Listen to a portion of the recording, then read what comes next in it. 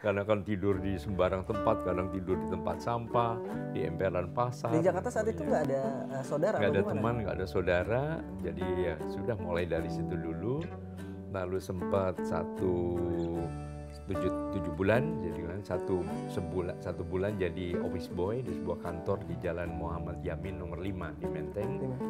Lalu saya tanya-tanya pengurus yayasan itu ada yang perlu pembantu rumah tangga. Akhirnya ya dapat. Akhirnya tujuh tahun jadi asisten rumah tangga di situ. Akhirnya sambil itu eh, berhasil kuliah akhirnya. Tapi ya itu tidak jadi masuk ke dokteran, tapi banting setir ke psikologi. Jadi uh, gagal dalam kedokteran, akhirnya berpisah ya dengan adik. Ya, itu menjadi saya. sebuah motivasi ya. Iya. Saudara kembar jadi motivasi. Akhirnya ke Jakarta masuklah psikolog. Iya, iya, Psikologi Universitas Indonesia ya kak ya. iya masuk di UI. itu kampusnya mungkin masih di Jakarta ya kak. Eh, kampusnya waktu itu di sempat eh, di Salemba ya. Salemba ya, ya. di Salemba. Gitu. Terus waktu itu eh, siapa kak yang menganjurkan kakak untuk masuk psikologi gitu? Iya, saya waktu itu juga waktu lagi masih jadi gelandangan ya, jadi gembel gitu membantu cuci apa baju di sebuah tempat ya di pasar ada TV hitam putih. Lalu sore hari ada acaranya Ibu Kasur. Ibu Kasur. Oh itu Ibu kayak Kasur pencipta lagu ya Iya, anak-anaknya. ada Pak Kasur, ada Ibu Kasur. Nah, Ibu Kasur yang mengasuh acara Taman Indria. Hmm. itu tahun 70-an itu Itu- anak-anak itu balita TVRI ya, ya? TVRI. Lalu saya perhatikan saya bilang wah saya kalau begini juga bisa ini Waduh. siapa tahu saya bisa apa ya melamar membantu pekerjaan di situ. Akhirnya dengan baju yang ya serapi mungkin saya datang ke TVRI tanya saya mau ketemu ibu kasur. Wah bukan di sini kak. Gitu. Tapi di apa jalan eh, waktu itu masih namanya jalan kebun binatang 4 nomor 2 itu di daerah Cikini di seberangnya Taman Ismail Marzuki akhirnya dari Senayan ke sana saya jalan kaki. Ketemu setengah dua saya ketok. Wah rupanya mungkin sudah tidur tidur siang mungkin ada istirahat siang yang membuka Pak Kasur waktu itu Langsung Pak Kasurnya langsung. Iya, saya pernah baca kisahnya mengenai Pak Kasur Bu Kasur. Wah, saya juga, wah ini kok wah, hebat juga saya bisa ketemu beliau. Lalu saya memberanikan diri, Pak, saya calon mahasiswa UI. Namanya calon, kapan-kapan gitu ya. Belum ikut ujian belum ya? Belum. Pernah sebelumnya udah gagal Udah juga. gagal. Masuk kedokteran UI juga gagal waktu itu. Ya, akhirnya, oh ya kenapa? Saya mau jadi pembantu Bapak atau apa pun juga asisten Bapak, nggak usah digaji Pak. Karena sebelumnya saya pernah berkali-kali masuk ke rumah, ke kantor. Kalau saya cari pekerjaan, wah nggak, selalu ditolak begitu. Tapi begitu saya bilang tidak usah digaji, lalu bilang, oh boleh, boleh. Oke nanti sore ya datang ke Taman Situ Lembang. Gitu. Tidak jauh dari Cikini di situ. Akhirnya saya udah menunggu tanya-tanya Taman Situ Lembang, oh nggak jauh, jalan kaki. Nah persis jam 4 sore acara dimulai. Pak Kasur sudah berkumpul dengan anak-anak dan para ibu-ibu. Saya memberanikan diri datang, "Oh, Pak, saya yang tadi siang menghadap Bapak gitu. Oh iya iya, oke. Adik siapa namanya? Panggil saya adik begitu. Saya Seto Pak. Oh baik. Ibu-ibu, mulai sekarang saya punya asisten baru. Kita panggil Kak Seto. Ibu-ibu tepuk tangan. Ya udah, saya masih dengan segala kekakuan saya bantu ngangkatin apa bangku-bangku kecil untuk permainan anak-anak begitu ya. Nah terus berapa minggu kemudian kelihatannya beliau mulai apa ya percaya ke saya ya. Terus ya udah dik terus eh, bantu saya ya begitu. Sampai pada satu titik tanggal 23 September tahun 70 waktu itu beliau eh, waktu saya membantu merapikan angklung-angklung karena beliau juga mengajar angklung juga anak-anak maupun ibu-ibu gitu ya di sebuah eh, loteng yang naik tangga ke sana. Lalu beliau pegang pundak saya, "Dik, kalau saya mati, itu kata-kata beliau itu, tolong adik yang melanjutkan perjuangan saya untuk mendidik dan melindungi anak-anak Indonesia." Saya langsung siap pak saya merasa ada suatu apa ya amanat lah yang dan kepercayaan begitu sehingga itulah yang saya selalu mencatat eh, di buku harian ya. Walaupun buku-buku bekas kalau saya apa saya kumpulkan begitu terus saya isi yang masih kosong begitu. Nah, ya itu saya ingat bahwa saya sampai kapan pun saya akan terus konsisten di dunia anak-anak untuk apa, melaksanakan amanat dari hmm. Pak Kasur yang juga guru besar saya. Luar biasa. Gitu. Jadi itulah uh, singkat cerita wasiat ya, wasiat iya, dari Pak Kasur begitu. Ya. Uh, untuk menjaga anak-anak Indonesia ya kepada Kak Seto saat itu ya, mulai 23 betul. September 1970. 70 ya. Sebuah itu kok bisa ingat Kak ya tanggal itu Kak ya? Ya, saya sejak itu sudah punya buku harian ya, catatan harian ya walaupun kadang-kadang ada kertas-kertas bekas saya kumpulkan diceklek begitu ya. Ya, sempat waktu itu tersimpan terus ya sampai pernah rumah ini kan waktu situ gintung ya, jebol betul. itu sampai terendam 3 meter kan. Nah di situ pora-poranda sampai buku harian saya kesayangan saya ini termasuk Gila. udah ludes ya. Zaman dulu mungkin belum digital ya kak. Iya betul. Belum terarsip itu yeah. padahal arsip-arsip yang sangat bersejarah sangat, ya kak. Ya, sangat bersejarah. Bahkan saya juga ingat pada waktu perkenalan dengan Pak Kasur itu, itu saya catat serba empat sore itu jam 4 sore, lalu tanggalnya tanggal 4 bulan April. Jadi sekarang ini setiap 4 April selalu saya peringati sebagai hari pengabdian saya di dunia anak-anak. Jadi nanti bulan April 4 April nanti berapa bulan ke depan ini saya memperingati 52 tahun pengabdian saya di dunia anak-anak sejak perkenalan dengan Pak Kasur tadi. Luar biasa sudah uh, jadi dihitung sejak 4 April ya kak ya? Ya, serba 4 jam 4 tanggal 4 bulan 4 dan saya waktu kecil pernah dapat angka matematika dapat 4 jadi sebuah angka keberuntungan bagi Kak Seto angka 4 ya, sekarang anaknya juga 4 anaknya juga 4 ya jadi uh, mulai dari saat itulah ya kak ya Iya. Kakak ya, mengabdikan diri menjadi pengayom anak-anak lah istilahnya. Iya, iya, sahabat anak-anak Sahabat anak-anak ya sebutnya. Mewarisi apa yang telah diperjuangkan oleh founding fathers. Bisa dibilang uh, Pak Kasur ya. Iya, iya, Pak Kasur dan Ibu Kasur.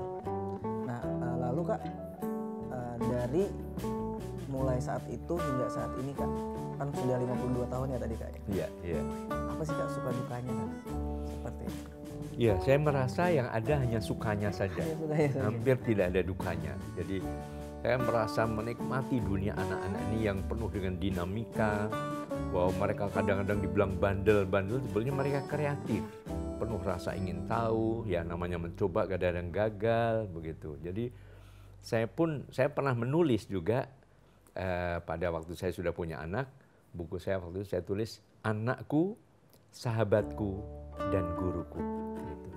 Jadi juga sahabat tempat saya apa ya uh, ya curhat dan sebagainya tapi guru juga belajar banyak dari anak-anak. Belajar dari spontanitasnya kreativitasnya kejujurannya tidak pendendam ya, yang penuh persahabatan dan sebagainya kekuatan cintanya itu saya belajar banyak juga dari guru saya yang bernama anak-anak ini baik anak-anak saya sendiri cucu saya maupun ya anak-anak Indonesia Terus uh, bagaimana kak uh, kakak uh, memposisikan diri sebagai sahabat atau ayah kepada anak-anak kakak? Itu seperti apa kak? Iya, ya salah satunya misalnya supaya ada komunikasi yang efektif, kami biasa menggelar apa yang disebut sidang umum MPR. Majelis MPR. Permusyawaratan Rumah gitu. Bukan rakyat bukan ya, rumah. Bukan ya. Jadi kayak ngobras lah begitu ngobras ya. ya. Jadi ngobrol bareng gitu. Jadi misalnya tidak selalu penuh. Kamu harus gini, harus gini, harus gini. Enggak, tapi yuk kita bikin aturan di rumah. Bangun jam berapa? Misalnya setelah sholat subuh, mungkin apa olahraga atau latihan nari atau apa saja. Saatnya mandi-mandi, eh, makan pagi, sarapan dan sebagainya. Jadi apa pun juga kalau ada masalah ya dibicarakan secara terbuka. Sehingga ada saatnya juga misalnya saya juga menanyakan, sekarang ayah dan bunda mau tahu apa yang salah dari ayah dan bunda. Dengan anak-anak juga berani bersuara sehingga kami kadang-kadang mungkin saya ini terlalu galak atau terlalu apa.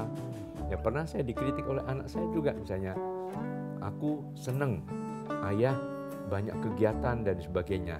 Tapi eh, apa a- a- tapi tolong jangan sok bangga jadi ketua Komnas Anak waktu itu dan sebagainya tapi sering lupa pada anak sendiri gitu Jangan ngurusin Jadi, anak orang lain, anak Betul. sendiri lupa gitu. Ya, jadi gitu. Oh, jadi ayah selalu iya. Nah, akhirnya sejak saat itu kalau apa pun juga kami harus keluar kota, harus tugas selalu harus ada izin exit permit Waduh. baik dari istri maupun dari anak-anak. Ada kasus menarik waktu itu eh, akhir tahun. Nah, saya tiba-tiba dapat undangan dari ah, dari LSM sebuah LSM di Banda Aceh. Waktu itu eh, akhirnya saya sepakati oke menjelang akhir tahun lah tanggal berapa 26 atau 27 sekitar itu. Akhirnya eh, saya biasanya membuat apa jadwal gitu mungkin di sana ada yang sana itu seminggu itu ada Senin Selasa.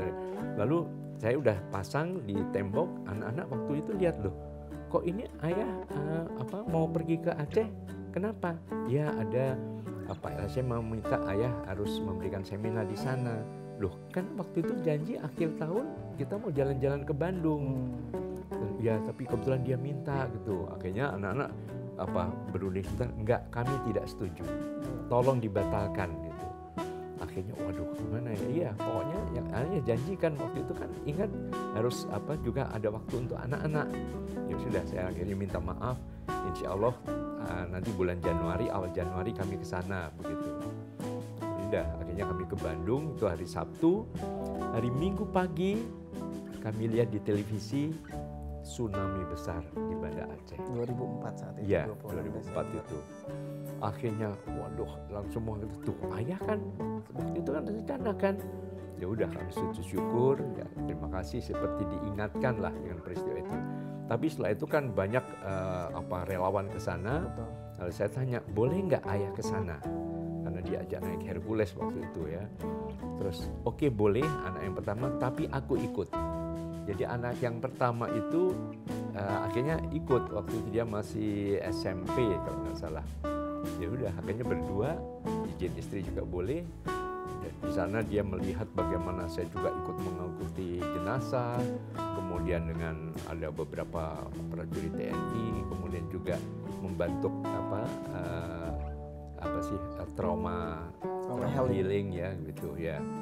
Jadi akhirnya ya sudah akhirnya kembali kami dalam keadaan eh, selamat juga dan saya lihat tempat hotel kami yang, saya- yang harusnya saya tinggal di sana itu lantai tiga tuh udah rata dengan tanah. Jadi dulu kan ada gempa terus kemudian tsunami. Waktu itu kakak di itu. kota Banda Aceh ya kak? di Banda Aceh ya. Di Banda Aceh. Betul, betul.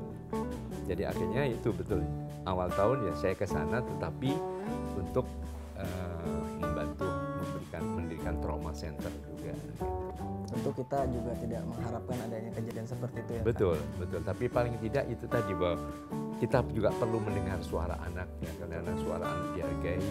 Mungkin ada kata suara rakyat adalah suara Tuhan. Nah, Suara jadi anak. Rakyat di dalam Republik rumah ini adalah mungkin juga peringatan dari Allah Subhanahu Wa Taala. Jadi budaya yang dibentuk oleh Kak Seto sebagai presiden atau kepala keluarga adalah Dialog budaya sangat-sangat budaya yang penuh dialog atau Iya. demokratis ya Kak? Betul, betul. Kita harus ada demokratisasi di dalam apa ya pendidikan eh, bagi anak-anak. Jadi jangan mimpi punya anak penurut. Kita justru akan frustrasi. Tapi mimpi punya anak yang mandiri dan bisa bekerja sama. Bahwa eh, apa kegiatan di rumah ini bukan berdasarkan paksaan tapi kerjasama, saling bantu, saling menolong. Gitu. Jadi dengan kerjasama yang kompak, akhirnya semua juga bisa berjalan dengan lancar. Gitu. Baik, Kak. eh, tadi kakak kan sempat bilang ya, tadi anak anak kakak sempat komplain tadi, Ya, jangan bangga jadi ketua Komnas PA gitu. ya, waktu itu masih Komnas Anak, tapi sekarang sudah berubah menjadi LPAI, Lembaga Perlindungan Anak Indonesia. Karena komisi itu sudah ada KPAI, ya, komisi sebagai lembaga negara.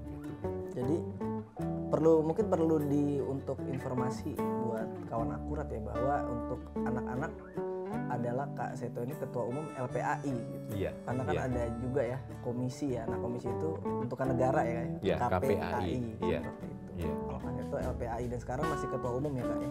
Iya, iya, dipercaya kembali menjadi ketua. Masih percaya beliau karena memang ya dedikasi beliau kita juga pasti uh, pahami ya. Terus kak uh, sekarang kegiatannya apa kak ya untuk LPAI sendiri kak? Iya, apa ya masih memberikan kan kita kan ujung tombaknya adalah LPA LPA daerah dari berbagai provinsi kan. Jadi kami juga dibentuk atau dipilih oleh LPA LPA daerah. Jadi kami bisa diturunkan, bisa diangkat itu uh, atas suara uh, apa ya, demokratis dari LPA lembaga pelindungan anak dari daerah. Jadi ada LPA Jawa Tengah, LPA Jawa Barat, LPA Bengkulu dan sebagainya gitu. Jadi tugasnya ya uh, apa terus melaksanakan upaya-upaya perlindungan anak kadang-kadang gitu ya. Iya, ya kadang-kadang juga misalnya juga memberikan seminar, tapi kadang-kadang juga kalau ada kasus kami juga bisa menjadi saksi uh, ahli atau kemudian juga apa ya uh, kalau diminta bantuan misalnya meredakan konflik menjadi mediator dari apa misalnya saling perebutan hak asuh anak dan sebagainya jadi tugas kami begitu dan ya walaupun masa pandemi ya kadang-kadang juga harus meluncur ke berbagai kota. Dan kira-kira kalau ada yang ingin diadvokasi gitu kak, bisa kak ya?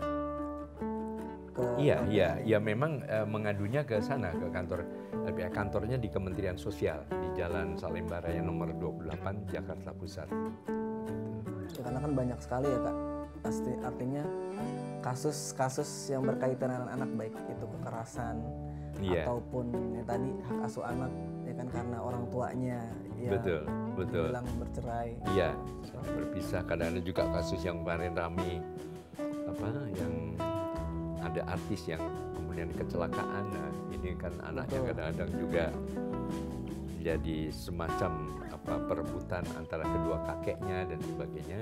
Ya sempat juga kedua beliau juga datang ke kami.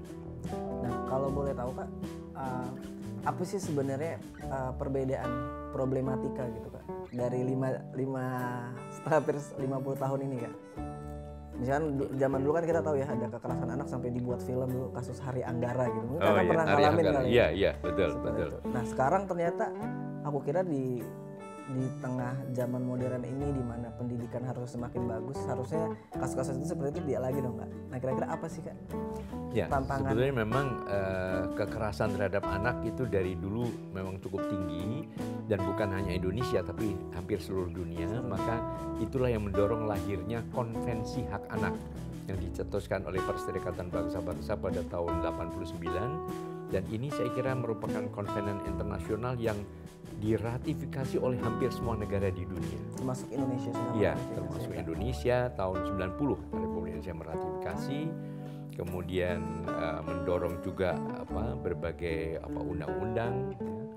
Kemudian uh, terbentuknya uh, apa ya kemudian tadi ada ada kom, lahir pertama kali adalah uh, Komnas Perlindungan Anak ini dulu memang awalnya lembaga perlindungan anak ya lembaga perlindungan Indonesia sempat dipimpin oleh Menteri Sosial waktu itu tahun 97 kalau tidak salah lalu 98 dengan berakhirnya orde baru diserahkan kepada masyarakat dan akhirnya dikumpulkan semua LPA seluruh Indonesia menunjuk siapa yang akan menjadi pengurus dan pimpinan dari LPA ini. Nah, kemudian saya istilahnya ketiban sampur ya kalau bahasa Jawa. Jadi kok tiba-tiba terpilih sebagai ketua yang pertama, kemudian sekjennya adalah Ibu Dr. Nafsiah Boy yang sempat waktu itu menjadi Menteri Kesehatan ya.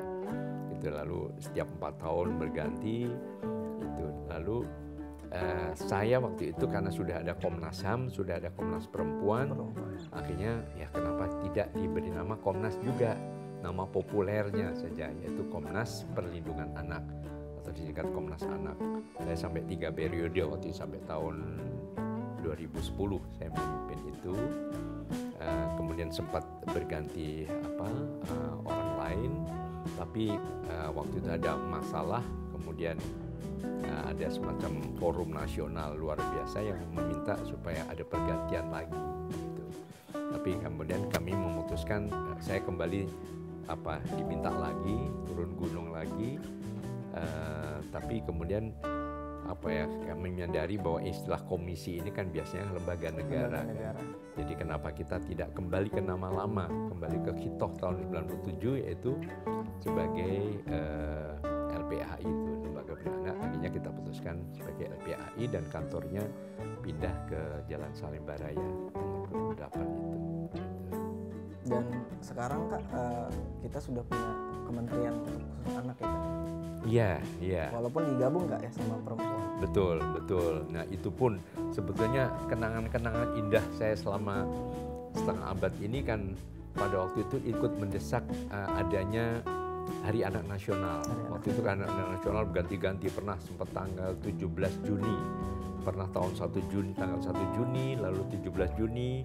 Nah kami waktu itu termasuk dengan para tokoh uh, apa ya pecinta anak ada Bu Kasur, ada Ibu Ibu siapa lagi ya Ibu Sut atau Ibu siapa beberapa juga dari Ibu Marjaman dari Ketua GOP TKI waktu itu mengusulkan supaya ada Hari Anak Nasional yang berdasarkan sejarah. Nah akhirnya tercatat uh, 23 Juli itu hari disahkannya Undang-Undang Kesejahteraan Anak oleh DPR. Akhirnya itulah jadi akhirnya di Hari Anak Nasional.